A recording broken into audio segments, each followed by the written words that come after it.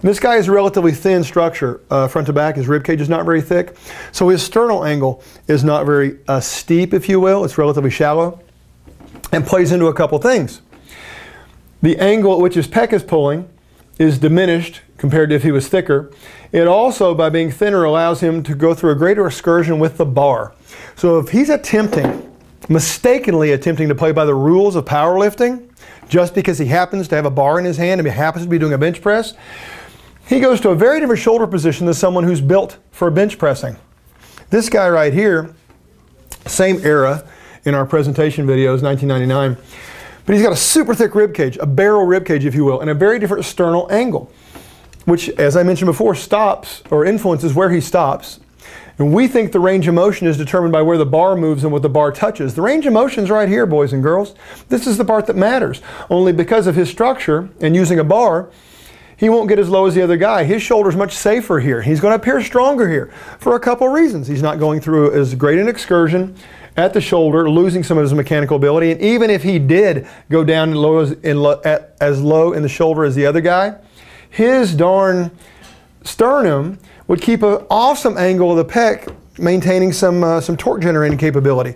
And if you compare these guys side to side, and make the reference point that's consistent between the two where their shoulders are on the bench, you can see this guy's mechanical ability is very different. His pec, if you were to outline it in your head beneath that shirt, has, through its array of fan-shaped fibers, an almost vertical pull, an almost 9 degree pull in the arm here at the bottom.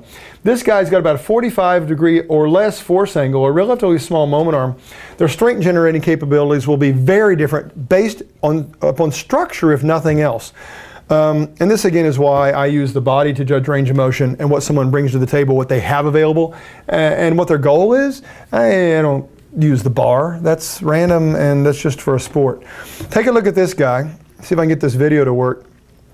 So, there's a friend of ours, and if you take a look from the side, you can kind of see that when he stops here, here's the angle of his pec fibers. Can you see that? And so they're splayed out here. If I could kind of make a thing coming up from, from his arm and its attachment. And he's moving straight up, and these fibers are doing a great job. Now, if he had a really shallow rib cage, let's say his sternum wasn't at this angle and his sternum was down here, then these fibers would not have such a vertical alignment of pull relative to just plane of motion. He'd have a real challenge here. And he's actually, as you're going to see, he's actually uh, in a position right now, he's chosen a thoracic position that does not take full advantage of his capabilities. So if we go look at him here, he just went into some more thoracic extension which he has available and is comfortable for him. But look how that pec angle changed dramatically. And those decisions you make and how you give instructions or cues during the performance of an exercise change everything. And maybe the difference between someone like that thinner guy getting up and feeling nothing but anterior shoulder on what's supposed to be a chest exercise versus him getting up and going, I don't feel anything but pecs. I don't see why you find this to be a problem.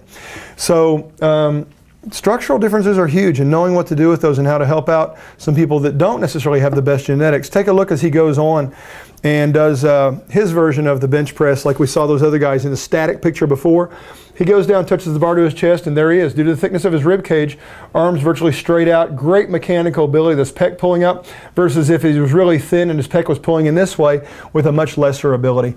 So those are, those are just some cool biomechanical realities that exist inside of the individual that we can see if we start looking for them below the shirt, below the skin, clear into the joint and the mechanical abilities of the force producing tissues and stop looking at the bar or the device for determining how to perform an exercise.